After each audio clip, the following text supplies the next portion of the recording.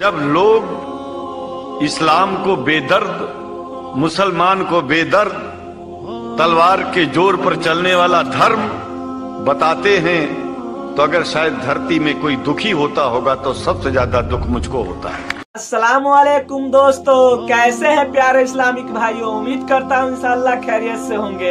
अल्लाह आप सबको सलामत रखे। मेरा नाम मोहम्मद इफरान है। आज फिर एक नई वीडियो के साथ हाजिर आया हूँ। इस वीडियो का टॉपिक है, अल्लाह कैसे एक है। आइए इस वीडियो में सुनेंगे मुफ्ती सलमान अजहरी साहब की जुबानी। उससे पहले हिंदू पंडित की जुबानी सुनते हैं कि अल्लाह कैसे एक है। फिर सुनेंगे मुफ्ती सलमान अजहरी साहब की जुबानी प्रूफ के साथ कि अल्लाह कैसे एक है और इस वीडियो से कुछ सीखने की कोशिश करेंगे। इंशाल्लाह, आइए इस वीडियो को देखते हैं और इस वीडियो से कुछ सीखने की कोशिश करते हैं दोस्तों। क्या इसमें पढ़ाया जा रहा है? जिस देश में तीन लाख से ज़्यादा मदरसे चल रहे हो, जिस देश में दो लाख से ज़्यादा मस्जिदें विद्यमान हो, उनमें तैयारी क्या हो रही है? दिन रात बोल रहे ला इलाहा पाँच बार बोलते हैं, पाँच बार नमाज़ पढ़ी जाती है और शुरुआत इसी से करते हैं। कि कोई नहीं है ला माने नहीं है, कोई भी अल्लाह के जैसा। और मोहम्मद अर्थात मोहम्मद ही उस अल्लाह का रसूल है। इन दो के अलावा और किसी को हम पूजेंगे नहीं, मानेंगे नहीं। अब ये बता दो, जिस व्यक्ति को पाँच बार लगातार यही बताया जा रहा हो दिन में, पाँच बार जब बताया जाता हो तो उसकी मेंटलिटी क्या बनेगी? वो सीधे आपके ऊपर तलवार लेकर के खड़ा होगा और जब लोग इस्लाम को बेदर्द मुसलमान को बेदर्द तलवार के ज़ोर पर चलने वाला धर्म बताते हैं तो अगर शायद धरती में कोई दुखी होता होगा तो सबसे ज़्यादा दुख मुझको होता है। ये न सच्चाई है सच कह रहे हैं अल्लाह और न कभी ये सच्चाई हो सकती है। कोई शक नहीं है दोस्तों। जिस इस्लाम ने पहला कलमा ही कुरान शरीफ का ये बताता है कि नहीं है इबादत के काबिल सिवाय परमात्मा के और कोई। ला इल्लाह इल्लल्लाह मोहम्मद रसूल अल्लाह भला आप बताइए, वेदों का रस, वेदों का रस निचोड़ करके मोहम्मद साहब ने परमात्मा की इबादत करके परमात्मा के पैगाम को एक ही कलमे में दे दिया, इससे बड़ा ग्रंथ दुनिया में और क्या वेद के मंडल एक सूक्त सात का दसवां मंत्र है इंद्रम वो विश्व तस्मरी हवा महे जनेभ्या अस्माकम अस्तु केवला। ऐ मनुष्यो, तुमको अत्यंत उचित है। ध्यान दीजिएगा, ऐ मनुष्यो, तुमको अत्यंत उचित है। कि मुझ परमेश्वर को छोड़कर उपासना करने योग्य किसी दूसरे देव को कभी मत मानो, क्योंकि एक मुझको छोड़कर दूसरा ईश्वर नहीं है। इसका संक्षेप हुआ, परमेश्वर के अलावा कोई पूज नहीं है, यही है ला इलाह इल्लल्लाह। मतलब वेद का यह मंत्र ला इलाह इल्लल्लाह है, और ला इलाह इल्लल्लाह वेद का मंत्र है। गौर फ़िक्र करो। तुम्हें इसी से अल्लाह रब्बुल इज़्ज़त की मारिफत हासिल हो जाएगी। कोई तो है खालिक। इमाम आज़म अबू हनीफा ताला के पास एक दहरिया इस जमाने के भी जो जो एथिस्ट होते हैं। एथिस्ट समझते हैं? एक नया ये चला हो नया नहीं है पुराने ही है। नाम नया लगता है, मुलहिद हैं ये। एथियज्म एथियज्म बहुत सारे लोग वो अपने दीन, अपना रिलीजियन के जगह पर ये लिखते हैं। आप देख लेना इनको, एथिज्म। आप मुस्लिम लिखते हैं, कुछ लोग हिंदुइज्म लिखते हैं, कुछ लोग क्रिश्चियनिटी कहते हैं, कुछ ज्यूज होते हैं, लेकिन कुछ हैं जो एथियज्म एथिस्ट हैं। एथिस्ट का मतलब कोई खुदा नहीं, कोई दीन नहीं, कोई मज़हब नहीं। ये बेचारे आवारा लोग हैं। ये लावारिस लोग हैं जो इस तरह से कह रहे हैं। अब इनकी बात मैं आपको बताऊँ एथिज्म इस तरह का एक एथिस्ट इमाम आज़म अबू हनीफा के पास आया। उसने कहा, खुदा है? तुम बार बार खुदा की बात करते हो। मुझे तो नहीं लगता, कोई नहीं। अगर है तो दिखता क्यों नहीं? बहुत सारी चीज़ें हैं, इसे आपने समझाया जो दिखती नहीं, लेकिन है। बहुत सारी चीज़ें हैं। उसने कहा, ऐसी कोई चीज़ नहीं है जो है और दिखती नहीं। आपने उसको एक तमाचा लगाया, ढेला उठा करके मार दिया। उसने कहा, मैं सवाल किया, तुमने मार दिया। कहा, क्या हुआ मारा कहा, दर्द हो रहा है? कहाँ है दर्द? अब हो रहा है। दिखता नहीं है, लेकिन एहसास है। बहुत सारी चीज़ें ऐसी हैं जो दिखती नहीं है, लेकिन है उनका वजूद है। बहरहाल, आपने उसको जवाब क्या दिया? कहा, सुनो, मेरे साथ आज एक बड़ा अजीब वाक़ पेश आया हमें मैं समंदर के किनारे गया था, मैंने देखा एक कश्ती को, और वो कश्ती की ताजुब खीज बात ये थी कि वो अकेले चल रही है, कोई नहीं चला रहा। सामान खुद से वो लाद लेती है अपने ऊपर और चल पड़ती है सीधे रास्ते पर। फिर थोड़ी देर के बाद साहिल पर आती है और अपना सामान खुद ही उतारती है। फिर जैसे ही वक्त होता है, फिर चल पड़ती है।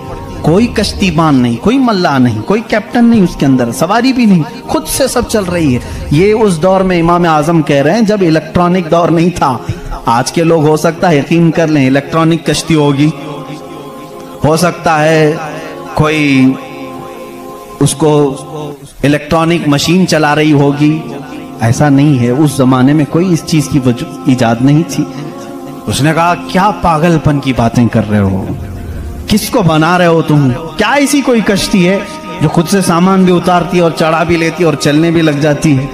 इमाम आज़म अबू हनीफा रहमतुल्लाह अलैह ने फरमाया, इतना तेरा दिमाग चलता है कि कोई कश्ती समंदर पर बगैर चलाने वाले के नहीं चलती ये पूरे दिन और रात का निज़ाम और लोगों की मौत व हयात का निज़ाम, ज़मीन से पौधों को निकालने का निज़ाम, बराबर वक्त पे मौसम के आने का निज़ाम, बगैर किसी के चलाए कैसे चल सकता है? कभी इसमें ताखीर तुमने देखी, कभी तुमने ये देखा कि रात हुई नहीं, कभी तुमने देखा कि दिन हुआ ही नहीं, वो अपने वक्तों पर सारी चीज़ें चला रहा है। अजीजा ने में इन तमाम चीज़ों में एक निशानी है उसके वजूद की। इसीलिए अल्लाह रब्बुल इज़्ज़त ने सूरह इखलास में यूँ फरमाया, कुल अहद। महबूब, आप फरमाते वो अल्लाह एक है। अब एक होने की निशानियाँ भी बहुत हैं। एक होने की निशानियाँ भी बहुत हैं। हम बचपन में पढ़ते थे, हमारे पास एक, हमारे वालिद किताब पढ़ाते थे। उसमें एक सवाल, एक बूढ़ी औरत से किसी ने किया था कि, बड़ी भी तुमने अल्लाह को एक माना है? कहा हाँ बिल्कुल। वो चरखा सिलती थी, का चरखा जिसमें कपड़े सिले जाते हैं। मौलवी साहब ने पूछा, क्या दलील है कि कोई निज़ाम को चला रहा है? कोई है खुदा? उसने कहा, मेरी मशीन ये सबसे बड़ी दलील है मेरे लिए। कहा, कैसे? कहा, ये जो चक्कर काटती है मशीन, जब तक मैं पाँव हिलाती नहीं, ये चरखा चलता नहीं। ये निज़ाम शमसी पूरा बगैर किसी के चलाए, कैसे नहीं चलता? कहा अच्छा ठीक है। बड़ी अकलमंद औरत है। मशीन को ही अल्लाह की निशानी समझ लिया तूने। उस औरत से उन्होंने दूसरा सवाल किया अच्छा चलो, ठीक है, कोई तो है चलाने वाला। ये क्यों कहती हो कि वो एक ही है? कहा, चलो, ठीक है, उसकी भी निशानी मेरी ही मशीन है। उसकी निशानी भी मेरी ये मशीन है। कहा, कैसे? कहा, चलो, मैं इधर से चलाती हूँ, तू उधर से चला। बैठ जा मेरे सामने, मैं इधर से चलाती हूँ, तू उधर से चला। फिर देखते हैं कपड़े की हालत क्या होती है। कपड़ा जो है, हो सकता है लेडीज़ की बजाय जेंट्स का हो जाए जेंट्स की बजाय लेडीज़ का हो जाए, कुछ का कुछ बन जाए। क्यों? उन्होंने कहा, बात तो सही है। उस बूढ़ी औरत ने कहा, मैंने अपने चरखे से ही ये दीन सीखा कि अगर कायनात में एक के बजाय दूसरा होता तो झगड़े हो जाते। एक खुदा कहता, मैं बारिश बरसाऊँगा। दूसरा कहता, नहीं नहीं, मैं धूप डालूँगा। तीसरा कहता, नहीं, मैं ठंडी लाऊँगा। इनके झगड़ों में फिर कायनात का निज़ाम दरहम बरहम हो जाता। लेकिन निज़ाम बराबर बराबर चल रहा है। इसकी, इस बात की दलालत है कि चलाने वाले दो नहीं, एक ही है। तो नहीं है, एक ही है। अगर दो होते उसी को अल्लाह ने कुरान में फरमाया लौकान फीहिमा आलिहतुन इल्लल्लाहु अगर ज़मीन आसमान में दो खुदा होते अल्लाह के अलावा, रब फरमा रहा है, ज़रूर इसमें फसाद हो जाता, ज़रूर फसाद हो जाता। इसलिए कि एक जो अकल से हमारे दरमियान हमने देखा है, जो चला सकता है, वो दो लोग नहीं चलाते हैं। दो लोगों की जहनीत अलग हो जाती। अब इसको फलसफे में आएँगे, जिसको फिलॉसफी कहते हैं। ये भी एक इल्म है। फलसफी लोगों के दिमाग के अतबार से भी हमने इसको साबित किया। अगर दो हैं, पहली बात आपके दिमाग में ये होना चाहिए कि खुदा वो है जो किसी का मोहताज नहीं।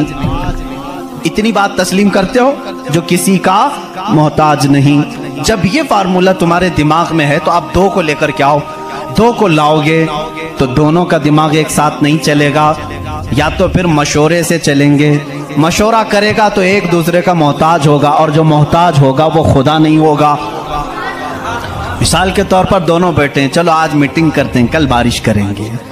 तो ज़ाहिर सी बात है, एक ने दूसरे को पूछा तो पहला वाला दूसरे का मोहताज हुआ कि नहीं? अब खुदा के बारे में हमारा तस्वूर ये है, वो अपने कामों में किसी का शिराकत किसी की शिराकत नहीं चाहता, कोई शरीक नहीं है उसका। अब अगर शरीक हो गया तो उसकी फजीलत कहाँ है? एक होने में जो फजीलत है, वो दो में है नहीं। एक होने में जो फजीलत है, वो दो में है नहीं। इसीलिए हम लाखों करोड़ों के सामने सर झुकाने वालों से कहते हैं, मान लो एक ही को, एक ही को तस्लीम करो। इसलिए कि जितने अधियान हैं दुनिया में तकरीबन सबके यहाँ एक तस्वूर है। खुदा का तस्वूर सब एथिज्म को छोड़ करके मैं बाकी सब की बात करूँ, हिंदुओं के नजरियात में भी खुदा का तस्वूर है। कोई तो है, एक भगवान के, कुछ भी नाम लें। ईसाइयों के मज़हब में यही हमारे रबाल का तस्वूर है। खुदा का वो भी यकीन करते हैं। यहूदी भी खुदा को मानते हैं। सिखों के यहाँ भी है। तकरीबन दुनिया में जो भी रिलीजियस है, किसी मज़हब को मानता है, उन सब मजहबों में खुदा का तस्वूर है। लेकिन अब ये झगड़ा है कि मानने में कौन खुदा है, कौन नहीं है। यहाँ तक तो सब मुत्तफिक हैं, है कोई तो है। लेकिन यहाँ आकर के चूक जाते हैं कि किसको मानना चाहिए, किसको नहीं। इसलिए मेरे अजीजों, इस्लाम ने वो निशानियाँ रब्बुल जलाल के वाहिद होने की और उसके ताकतवर होने की रखी हैं, जिसको आज तक दुनिया इनकार नहीं कर सकी और कुरान के इस मुआजे को आज तक कोई चैलेंज नहीं कर सका। मैं साइंसदानों से भी कहता हूँ आपको एक बात ये भी मैं बता दूँ। अभी 18वीं सदी की बात है। 18वीं सदी में अमेरिका का सफ़र करने वाले एक साइंसदान ने एक नई चीज़ का इंकशाफ किया। एटलांटिक ओशियन में या समंदर के एक हिस्से में एक ऐसी जगह है जो बिल्कुल ही डार्क है। डार्क स्पेस उसको कहते हैं। यानी वहाँ रोशनी बिल्कुल नहीं, सूरज की एक किरण भी वहाँ नहीं आती। इतना वहाँ पर, इतनी वहाँ तारीकी है। ये कब? अठारहवीं सदी में, यानी आज से 200 साल पहले की बात है। उसने इंकशाफ किया दुनिया को बताया, मैंने एक ऐसी जगह देखी, बहुत ही डार्क है, बहुत अंधेरा है। वो जब वापस आया तो रब्बानी ने सूर नूर की कुरानी आयतें पढ़ी। अल्लाह फरमाता है कि इदा अखरज यदहू लम यकद यरा लम यकद यरा वमन लम यजअलिल्लाहु लहू नूरन फमा लहू मिन नूर। अल्लाह फरमाता है, हमने कायनात में एक ऐसी जगह रखी है कि उस पर अंधेरियों पर अंधेरियाँ हैं। अगर तुम हाथ भी निकालोगे तो हाथ भी नज़र नहीं आएगा। हाथ भी नज़र नहीं आएगा। ये कहाँ का, ये इल्मुल इल्मुल बहर जिसको कहते हैं, समंदरों का इल्म रखने वाला, जो पूरी ज़िंदगी समंदरों की खोज में लगा दिया, वो ला करके बताया। उसने सोचा, मैं बहुत बड़ा तीर मारा हूँ लेकिन जब बताया कुरान पढ़ने वालों ने कि ये तो कुरान में है, अल्लाह फरमा रहा है, एक डार्क स्पेस है कायनात में, जहाँ तुम हाथ भी निकालोगे तो नहीं नज़र आएगा, इतना डार्क है। वो सटपटा गया, परेशान हुआ, मैं इसकी तहकीक करूँगा। ये कुरान में आई कैसे बात? सबसे पहला दुनिया का मैं इंकशाफ करने वाला हूँ, मैं इसको सबको बताने वाला पहला फ़र्स्ट आदमी मैं हूँ। ये पहले से कहाँ से आ गई कुरान? फिर वही दो बातें मैं बताता हूँ मेरे अजीजों। उसको भी यही झटका लगा कि ये कुरान उस जमाने में नाजिल हुआ जब साइंस का वजूद नहीं था और उस पर नाजिल हुआ जिसको दुनिया में किसी ने सिखाया नहीं था। बाद में फिर उसने ये सोचा, शायद हो सकता है प्रॉफेट मोहम्मद सल्लल्लाहु अलैहि वसल्लम समंदरों का सफ़र बहुत करते होंगे। उनके समंदरों के सफ़र में शायद कभी ये जगह आ गई होगी, इसलिए उन्होंने अपने मन से कुरान में ये लिख दिया होगा। उसने ये नतीजा निकाला, लेकिन दूसरे ही दिन उसे फिर बड़ा झटका ये लगा कि जब सीरत मुस्तफ़ा पढ़ा उसने, अल्लाह अकबर, हजूर की तिरसठ साल ज़िंदगी में आपने एक मरतबा भी समंदर का सफ़र किया ही नहीं। ये बहुत बड़ा झटका लगा कि वो मोहम्मद सल्लल्लाहु अलैहि वसल्लम कभी पूरी ज़िंदगी में समंदर का सफ़र किए ही नहीं। मेरे अजीजों, इस बात में गलत फहमी में ना आना कि वह समंदरों को नहीं जानते थे। वो मेराज का सफ़र करने वाला रसूल समंदरों को ज़रूर जानता है। लेकिन ये हिकमत इलाही थी कि कभी समंदर के सफ़र करने का इत्तेफाक नहीं हुआ। अब उसे झटके पर झटका ये लगा, जो कभी समंदर को गया ही नहीं। वो अगर एटलांटिक ओशियन में मौजूद डार्क स्पेस को बताता है तो ज़रूर वो अपने पेट से नहीं बता रहा है, वही उसको बताया होगा जिसने डार्क स्पेस बनाया है। यही अल्लाह रब्बुल इज़्ज़त के वहदानियत की निशानियाँ हैं, उसके वजूद की निशानियाँ। वीडियो से हमने क्या सीखा, प्यारे इस्लामिक भाइयों? है कौले मोहम्मद, कौले खुदा। फरमान न बदला जाएगा, लाख बदले जमाना मगर कुरान न बदला जाएगा। आज के लिए इतना ही प्यारे इस्लामिक भाइयों, वीडियो कैसा लगा है कमेंट करके ज़रूर बताना इंशाल्लाह। अगर वीडियो अच्छा लगा है तो इस वीडियो को ज़्यादा से ज़्यादा शेयर करें। हमें दीजिए इजाज़त। अस्सलाम वालेकुम रहमतुल्लाहि वबरकातुहू फिर मिलेंगे अगले वीडियो